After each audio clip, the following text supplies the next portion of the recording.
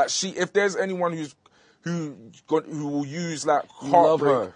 I, I love her wholeheartedly. Say, say, I, love, you, Maya. Look in that I- camera say, I love you, Maya. All, that, all, all this gangster talk. She's a G. No, man. You love her. No, You're I love, love listen, with her. I love her more you than anything. spend the rest of your life with her. hundred percent. I love her more than anything. I, I love her. I love her. There's no one I've ever loved. I've never loved anyone how I how I love how I do love her. You think y'all could ever reconcile? I would love for that to happen, but I don't know.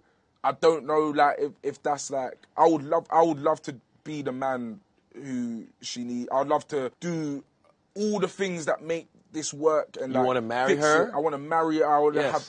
ha- I want to. I want to have her children. She, like, you know, I want all of that, all of that, all of Yeah. that. But it's, I was pac- pacing around my kitchen at this shit.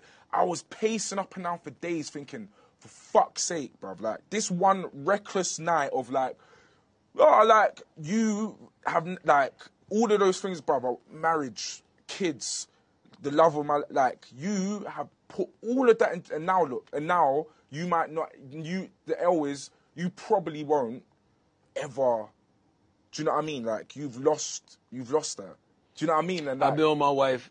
We've been married for five years. Yeah. We've been together for 21. oh wow, And when you get to that point that you're at right now where you realize the things you're doing are not only hurting yourself, but more importantly, hurting mm. her, that's when you know you're ready to be in a committed situation.